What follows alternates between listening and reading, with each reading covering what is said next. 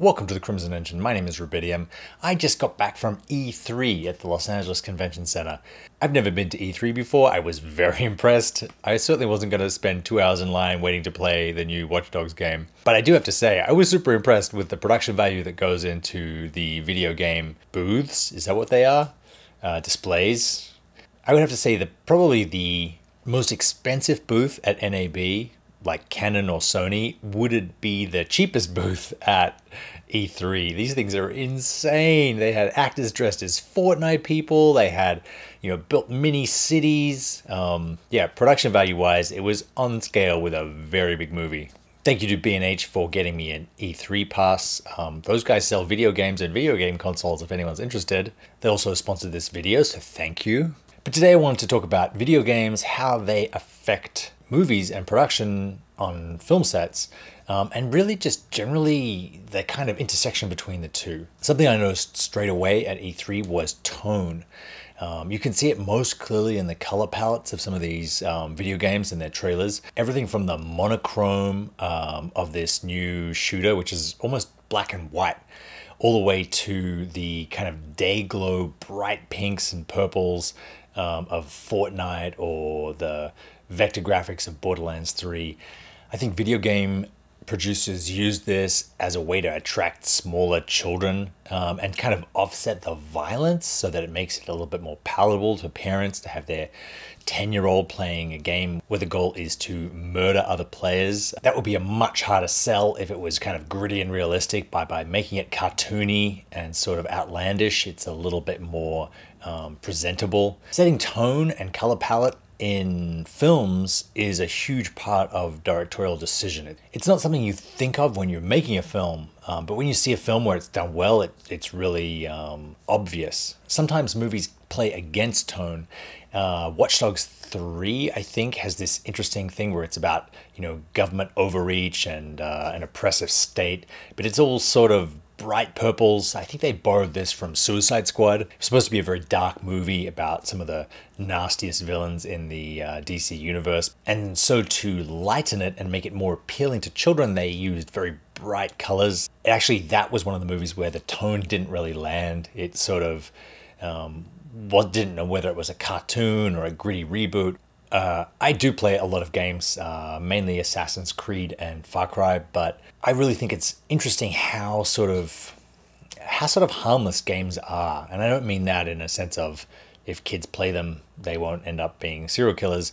I mean that they are very straight down the middle um, as far as their politics go. Most successful films have, you know, they pick a big question to explore. They really take an opinion on the characters and the char- the world that we live in. Games that I feel are the opposite, maybe because they're aimed at a younger audience um, than a lot of films are. But they don't really want to say anything about the questions that they raise. Uh, Far Cry 5 is a good example of that. It, you know, people wanted to say something about you know, religious extremism or gun control or um, the Second Amendment or cults. It ended up just going straight down the line and having bad gun owners and good gun owners. It just sort of made sure to um, cover every exception without really um, making any kind of statement. Bioshock Infinite was uh, was a game that actually had some teeth there are very few AAA games um, that really rise to the level of authorship that movies do, um, and I'm not really sure why. Game directors aren't the kind of celebrities that film directors are. They don't really get the sort of um, control to make the game that they feel as a personal expression. And I think that this means that games can't take as many chances, can't be as powerful a media as films are, and I think that's to their detriment. Performance capture is really coming of age. Uh, Jon Bernthal's part in the new Ghost Recon trailer um, is pretty great. Uh, it's basically a scene from a film done with motion capture.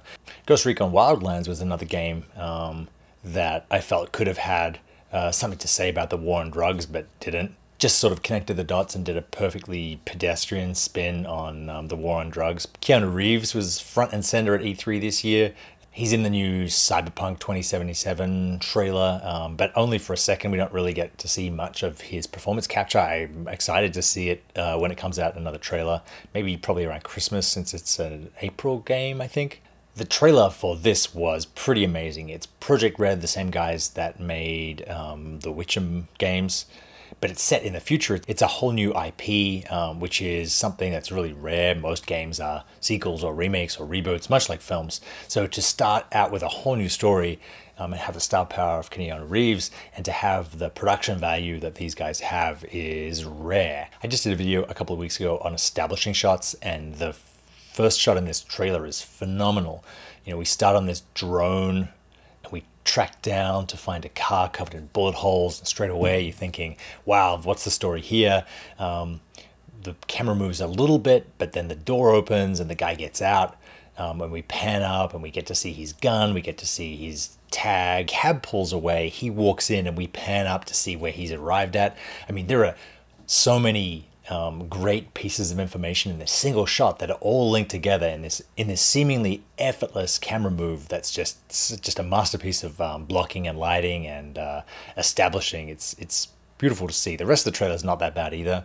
These game trailers uh, cost a lot of money to produce, somewhere in the area of a million dollars a minute. So this five or six minute trailer cost five or six million dollars.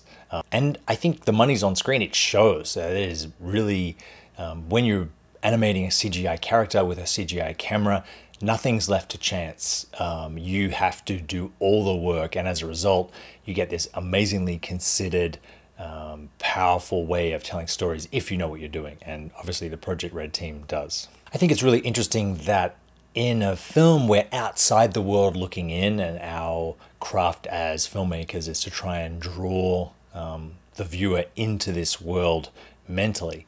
Whereas in a video game, you're already in the world, you're playing along with it, and the craft is then to create a story um, and and tell a story um, that doesn't compete with your the problems that the game gives you to solve um, and doesn't distract from that. So that's my little look at uh, E3, how video games are affecting filmmaking, and generally um, how the kind of the two. For a long time, we thought they would merge, um, and you just get one story told in different ways. But I think what's actually happening is, you know, films are definitely becoming more video game like in some respects video games are definitely looking to film for a lot of their aspects, but I do see them developing on separate tracks, uh, at least for the next um, couple of generations. Thanks very much for watching. I will see you next time.